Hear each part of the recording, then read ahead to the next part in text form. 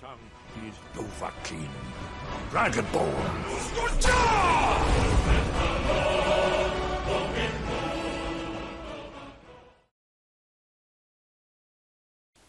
Hallo meine Lieben und schön, dass ihr wieder bei Kilians Pokémon Lexikon dabei seid. In der heutigen Folge stelle ich euch mein Florges vor.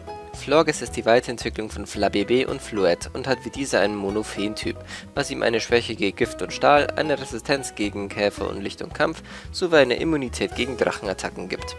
Wirft man einen Blick auf Florges Basiswerte, so sticht als erstes die Spezialverteidigung mit 154 Punkten heraus. Auch der Spezialangriff ist mit 112 Punkten auch nicht zu unterschätzen. Die übrigen Werte sind dafür allerdings leicht bis mittelmäßig unterdurchschnittlich, was uns jedoch nicht daran hindert, dieses Manko mit EVs auszugleichen. Diese verteilen wir hier nämlich komplett in KP und Verteidigung, um Flogges so stabil wie möglich gegen physische Angreifer zu machen. Ein kühnes Wesen senkt den Angriff und erhöht zusätzlich die Verteidigung. Florges Fähigkeiten sind leider nur für den Doppelkampf relevant, also werde ich hier auch nicht weiter darauf eingehen. Als Attacken nimmt man hier Mondgewalt, Wunschtraum, Schutzschild und Aromakur. Mundgewalt ist eine solide Step-Attacke, gegen die mit Ausnahme von Ninja Tom kein einziges Pokémon immun ist. Außerdem hat diese Attacke eine nützliche 30%ige Chance, die gegnerischen Spezialangriff um eine Stufe zu senken. Wunschtraum und Schutzschild geben Florges eine Möglichkeit, sich sicher zu heilen. Aromakur heilt das gesamte Team von Statusveränderungen wie Schlaf, Paralyse, Brand, Gift und Frost. Als Item eignet sich Überreste am besten, um passiv immer ein wenig Heilung zu haben. Dieses Florges nimmt im Team die Rolle eines Supporters an.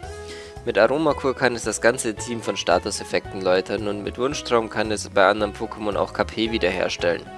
Mondgewalt macht auch ohne offensive EV noch ordentlich Schaden und solange es keine Stahl- oder Gift-Pokémon vor sich hat, kann es einen Gegner auch effektiv stallen, sofern es mal nötig ist. Als Switch-Partner für Florges nimmt man am besten ein physisch-defensives Stahl-Pokémon, um gegnerische Stahl- oder Giftattacken effektiv abfangen zu können. Insgesamt ist Florges ein super Pokémon, wenn euer Team eher aus Tanks und Setup-Sweepern besteht, da es bei solchen Pokémon eher die Möglichkeiten hat, sie mit einem gut getimten Wish-Pass hochzuheilen.